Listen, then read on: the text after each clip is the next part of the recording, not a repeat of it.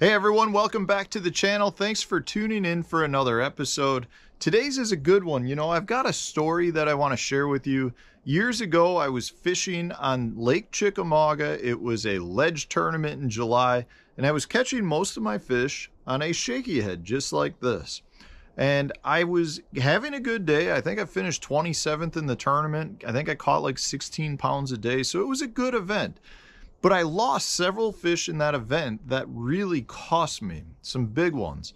And in the weigh in line, I was talking to the general, Larry Nixon, and I was telling him about how I had lost some fish. And we were talking about how we caught our fish like you always do in the bag line.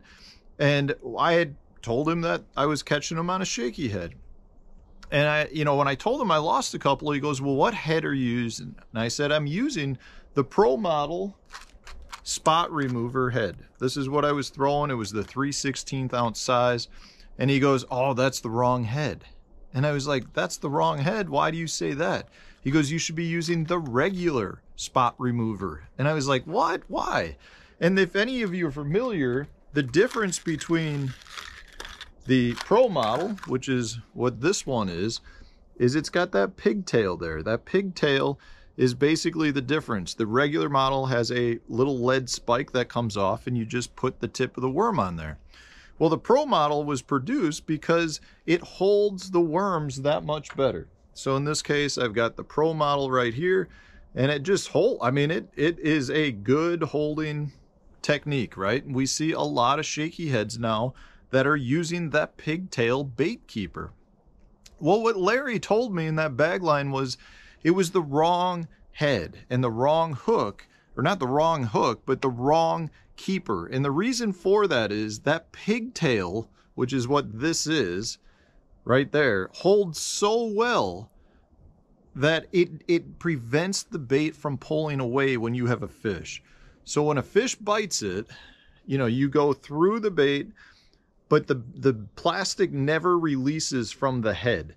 It stays tight. Well, what that does is it really decreases the gap. So your space between the hook point and the worm, and therefore you end up skin hooking a lot of fish. And that's why he was telling me you lose a lot because you don't get that worm out of the way. So what he recommended to me was I should go with the regular spot remover or some other form of shaky head that has more of a keeper that just holds the worm in place but is made to release the worm when a fish bites. So if I take the same bait and put it on, so this is one of my favorites. This is the alien head here. It's a stand up. I don't know if you guys have used this. It's a football shaped head, a very good one. Well, with these or like the regular spot remover, all you do is take your worm and slide it right up on there and then you thread it on. And what happens is when a fish bites it, that breaks away.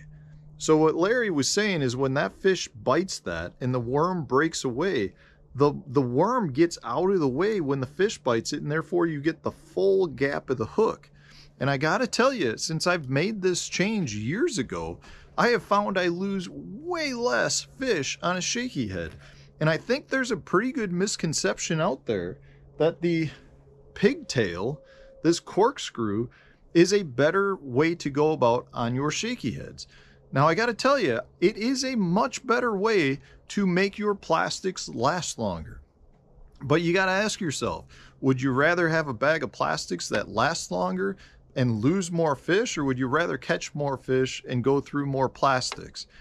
That's kind of up to you to decide. I personally would rather catch more fish and go through plastics, but I realize not everybody's in the position that I'm in.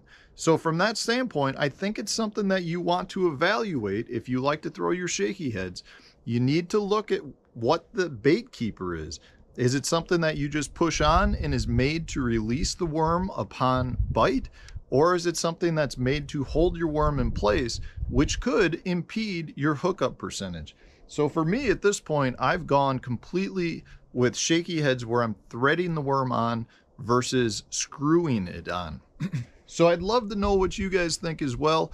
You know, it's hard for me to argue with Larry Nixon. That man will know more than I've ever known. And he taught me a very valuable lesson that day.